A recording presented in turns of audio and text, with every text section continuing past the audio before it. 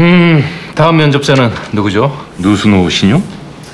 유학한가? 기대되네요. 들어오세요.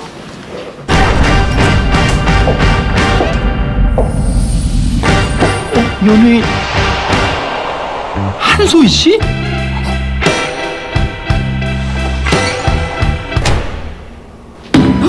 나도 모르게 새는 돈 확실히 막아 누수는 NO 철저한 관리로 신용은 up 시키는 누수노 신용입니다. 누수노 신용 한소희 씨, 누수노 신용입니다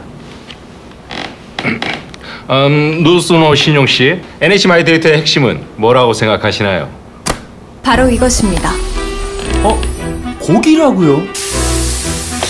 모든 면을 빠르게 익혀서 육즙을 확 가둬야 맛있잖아요.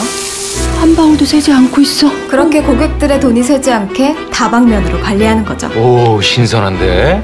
잠시 굽는 것 좀 도와주실 분? 저요! 고기 제가 자고요. 어, 왜 타지? 참 이상하죠. 내가 구우면 안 익고 태우고 그래서 대신해주는 전문가가 필요한 겁니다. 전문가인 NH 마이데이터가 필요하다는 얘기군요. 냄새가 너무 좋아서 설득당하고 있어. 그리고 이렇게 다양한 서비스를 한 곳에 모으면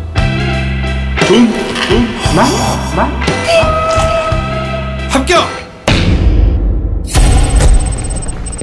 그렇게 탄생한 NH 마이데이터는 자산 관리는 기본, 연말정산 많이 받는 비법을 알려주고 머리 아픈 금융 일정 꼼꼼하게 챙겨주고 그래서 NH 마이데이터가 한마디로 뭡니까? 한마디로 돈의 누수는 NO 신용은 UP. NH 마이데이터는 어디에도 없던 새로운 서비스입니다. 혹시 한소희 씨 아닌가요? 저는 누수노 신용입니다. 검색해보세요. 돈의 누수는 NO, 신용은 UP. NH 마이데이터.